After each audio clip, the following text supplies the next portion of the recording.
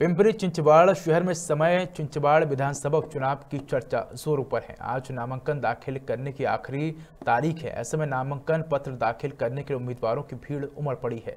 वहीं एक उम्मीदवार राजू काले जमानत राशि के लिए दस हज़ार के सिक्के लेकर आए और इनमें एक रुपये दो रुपये पाँच रुपये दस रुपये के सिक्के शामिल थे। इन सिक्कों की गिनती करने के लिए अधिकारियों को कड़ी मशक्कत करनी पड़ी।